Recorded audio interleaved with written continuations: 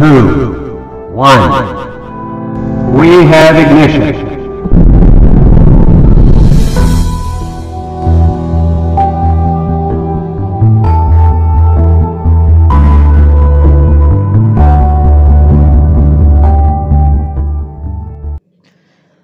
नमस्कार दोस्तों new study 24 में आप सभी का बहुत बहुत स्वागत है आज ये मेज़रमेंट का चैप्टर समाप्त होने वाला है और एक तरह से हम देखें तो तो इस मेज़रमेंट के चैप्टर में बहुत इम्पोर्टेंट टॉपिक थे, जहाँ से एग्ज़ाम में क्वेश्चन आते ही हैं। तो इसलिए आप ये मान के चलिए मेज़रमेंट चैप्टर पूरा होने से आपको एक से चार क्वेश्चन जो है डिफिनिट कोई भी एग्ज़ाम चाहे बीपीएससी हो, चाहे बिहार एसआई हो, आपको एक क्वेश्चन से लेकर चार क्वेश्चन तक देखने को मिल सकता है।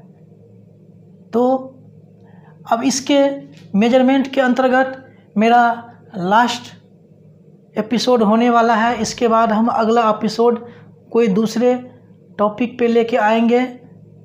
फ़िलहाल हम इस टॉपिक को देख रहे हैं और लास्ट जो है मेज़रमेंट ये भी अपने आप में, ये जो टॉपिक है मेज़रमेंट का, ये भी अपने आप में बहुत ही महत्वपूर्ण है। क्योंकि ये जो टॉपिक है, ये उपकरण से संबंधित है। मेजरिंग में जो उपकरण से संबंधित है, उससे। टोटल मैं उपकरण से संबंधित नहीं बोल रहा हूँ। यहाँ पे सिर्फ़ मेज़रमेंट में जो है उपकरण, उससे संबंधित जो है क्वेश्चन जो बनते हैं, वो लगभग लगभग एग्ज़ाम में आते ही हैं। और मुझे अनुमान है कि ये जो है टॉपिक ज़रूर आएँगे। तो देखते हैं। जैसे atmospheric pressure measuring atmospheric pressure वायुमंडलीय दाब को मापने के लिए हम किसका उपयोग करते हैं? बैरोमीटर का उपयोग हम करते हैं। मेजरिंग डेंसिटी ऑफ़ लिक्विड तरल की घनत्व को मापने के लिए हम किसका उपयोग करते हैं? हाइड्रोमीटर का उपयोग करते हैं। ह्यूमिडिटी डेंसिटी ऑफ़ एटमॉस्फेयर वायुमंडल की आर्द्रता की जो की जो घनत्व है, उसे मापने के लिए हम किसका उपयोग करते हैं? Hydrometer, hygrometer.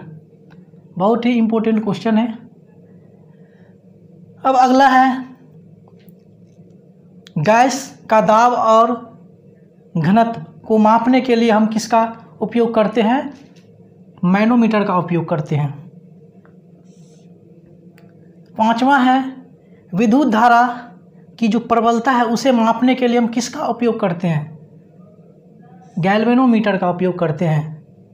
छठा है, विभवांतर जो है, विभवांतर। विभवांतर को मापने के लिए हम किसका उपयोग करते हैं? किस उपकरण का? तो बोल्ट मीटर का। विद्युत धारा को मापने के लिए हम एमीटर का उपयोग करते हैं। वायु और हवा की गति को मापने के लिए हम एनीमोमीटर का यूज़ करते हैं। इसके बाद है, कोई समुद्र में डूबी हुई वस्तु का पता लगाने के लिए किसका उपयोग करते हैं? तो सोनार का उपयोग करते हैं। अगर समुद्र की गहराई मापना हो तो किसका उपयोग हम करेंगे? अगर हमें समुद्र की गहराई मापना हो तो हम फेडोमीटर का उपयोग करेंगे। अगर हमें ऊंचाई मापना हो तो किसका उपयोग करते हैं? अल्टीमीटर का। जैसे आपसे पूछ पूछ देगा वायुयान की ऊंचाई मापनी है तो हम किस उपकरण का या किस इंस्ट्रूमेंट का हम यूज़ करेंगे? तो किसका यूज़ करेंगे? तो अल्टीमीटर। स्पीड, यानी चाल। चाल को मापने के लिए हम किसका यूज़ करते हैं? स्पीडोमीटर। प्योरिटी ऑफ़ गोल्ड स्वर्ण की जो शुद्धता है, उसे मापने के लिए हम किसका यूज़ करते हैं? कार्टियोमीटर कोई भी वायुयान है या मोटर है, चाहे नाव है, उसकी जो चाल है, उसकी जो रफ्तार है, उससे मापने के लिए हम किसका यूज़ करते हैं? टेक्नोमीटर का यूज़ करते हैं। कोई भी सूर्य की किरण है, सूर्य की किरण की जो तीव्रता होती है, उसे मापने के लिए हम किसका उपयोग करते हैं? तो एक्टीन मीटर की यूज़ करते हैं। कोई पेड़ है या कोई पौधा है, उसमें वृद्धि होती है। तो उस वृद्धि को मापने के लिए हम किसका यूज़ करते हैं? ऑक्साइनोमीटर का यूज़ करते हैं, ऑक्साइनोमीटर। ज़्यादा से ज़्यादा टेम्परेचर अगर हो गई है तो हम किस उपकरण का यूज़ करते हैं मापने के लिए? पायरोमीटर। और अगर भूकंप आ गई है तो भूकंप को मापने के लिए हम किस इंस्ट्रूमेंट का यूज़ करते हैं? सिस्मोग्राफ नेक्स्ट देखते हैं मेजरिंग टेम्परेचर तापमान को मापने के लिए हम किसका यूज़ करते हैं? थर्मामीटर का. Next measuring density of milk and purity दूध का घनत्व और उसकी शुद्धता को मापने के लिए हम किसका यूज़ करते हैं? लैक्टोमीटर का यूज़ करते हैं. Next measuring speed of rotation घूमती हुई गति, यानी घूर्णन गति को मापने के लिए हम किसका यूज़ करते हैं? टेक्नोमीटर का यूज़ करते हैं। नेक्स्ट है heart rate measuring and listening यानी हृदय की जो गति है, उसको मापने एवं सुनने के लिए हम किसका यूज़ करते हैं? एस्थेटेस्कोप को। नेक्स्ट है मेजरिंग ब्लड प्रेशर रक्त की चाप या रक्त की दाब को मापने के लिए हम किसका यूज़ करते हैं? तो हम इस यूज़ करते हैं स्फेग्नोमैनोमीटर को। नेक्स्ट है मेजरिंग इंटेंसिटी ऑफ़ लाइट प्रकाश की जो तीव्रता है, उसे हम मापने के लिए किसका यूज़ करते हैं? लक्स मीटर का यूज़ करते हैं। नेक्स्ट है measure the distance travel by the wheel of the vehicle वाहनों के पहियों के द्वारा तय की गई दूरी को मापने के लिए हम किसका यूज़ करते हैं? तो हम यूज़ करते हैं ओडोमीटर का यूज़ करते हैं। किसका यूज़ करते हैं? ओडोमीटर का यूज़ करते हैं। नेक्स्ट है measuring frequency of electromagnetic wave यानी विद्युत चुंबकीय तरंग की जो आवृत्ति होती है, उसे मापने के लिए हम किसका यूज़ करते हैं?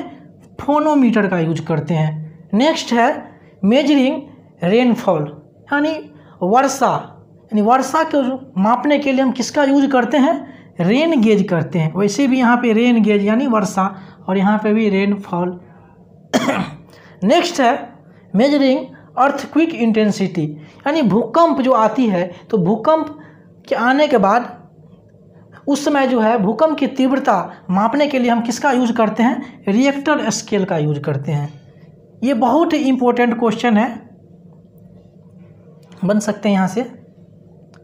नेक्स्ट है to measure absolute distance of the celestial body यानी कोई भी आकाशीय पिंड है, उसका जो दूरी होगा, उसे हम मापने के लिए, कोणीय दूरी जो होगा, उसे मापने के लिए हम किसका यूज़ करते हैं? सेक्सटेंट का यूज़ करते हैं। किसी भी आकाशीय पिंड का जो कोणीय दूरी होता है, उसे हम मापने के लिए किसका यूज़ करते हैं? तो सेक्सटेंट का यूज़ करते हैं। नेक्स्ट है मेजरिंग प्लांट ग्रोथ प्लांट यानी पौधे की जो वृद्धि होती है, उसे मापने के लिए हम किसका यूज़ करते हैं?